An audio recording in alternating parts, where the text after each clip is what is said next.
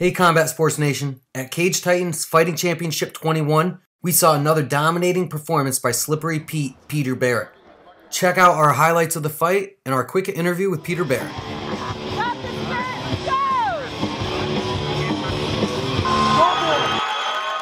Slippery Pete, Peter Barrett, here uh, at Cage Titans, spending some time here with Combat Sports Nation. I see that you're limping a little bit. I saw some crazy leg kicks exchanged. Uh, was that more of you kicking him, or colliding, or him kicking you? Uh, he came out with a with a heavy lead leg. He was kicking to the outside. Spent some time checking that, checking that, ripping him right back. Uh, I think I actually caught his elbow um, when I was looking for his liver. I think I actually I landed a nice liver kick on him, clipped his elbow. He threw one right back at me. Uh, it was good. We were going back and forth. He was clearly he's been working on his Muay Thai. He's been known as a ground guy. I was prepared for him to really try to take me down. That's kind of why I was keeping my distance and came out a little slower than usual. But, uh, you know, he hit me once, I found my rhythm, and I handled business. Awesome. So going forward, I know you fought several times for Cage Titans. I think all but one mm-hmm. of your fights.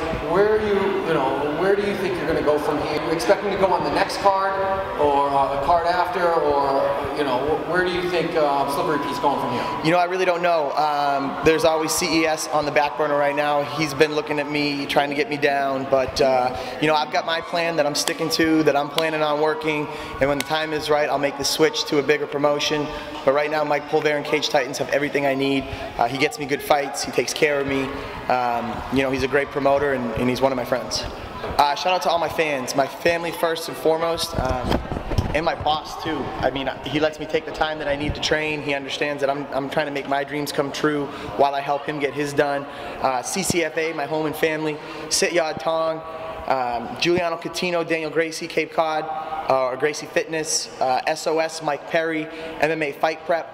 I've got DGAF on the West Coast, um, you know, Rich O, Verde Boutique in Braintree, uh, Old Town Real Estate in Abington. I've got Bare Bones Gym locally in Abington. You know, it's nice because the community gets behind me and they support me while I'm trying to chase my dreams. Well, based upon your performance, I can definitely see why you have a fan base following behind you. Slippery Pete, I appreciate it. Thank you. Combat Sports Nation on Facebook. Like, share, tag, and comment. Combat Sports Nation on YouTube. Subscribe, share, and comment.